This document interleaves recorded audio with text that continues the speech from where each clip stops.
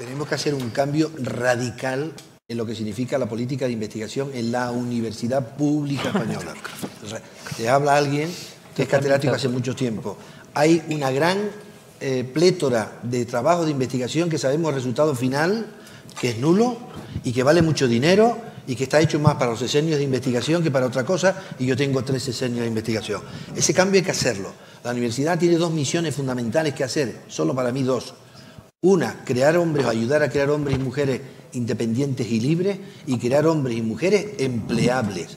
Y los sesenios de investigación, que yo presumo de tenerlo, hay que cambiar ese dinero de la autonomía universitaria, que es un principio constitucional, pero que no es un privilegio, sino un compromiso social con transparencia, cambiarlo a otras cosas y no investigar por investigar, que gasta mucho dinero, igual que medicar por medicar, que gasta mucho dinero y al final se tira a la basura.